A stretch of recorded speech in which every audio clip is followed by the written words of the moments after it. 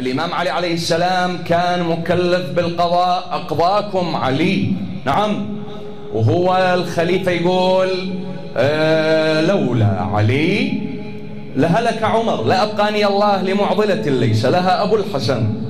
فشاف الإمام الموقف قال له شنو الموضوع؟ قال له هذا جيت ودخلت عليه ولقيته دا يفسق ودا يذنب وجبته حتى أقيم عليه الحد. قال ماذا صنعت؟ قال وما؟ شنو سويت أنا يا أبا الحسن؟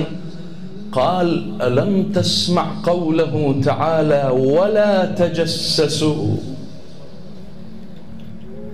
تمالك حق تدخل على عباد الله وتتدخل بإرادتهم؟ بسم الله الرحمن الرحيم. إنما أنت مذكر لست عليهم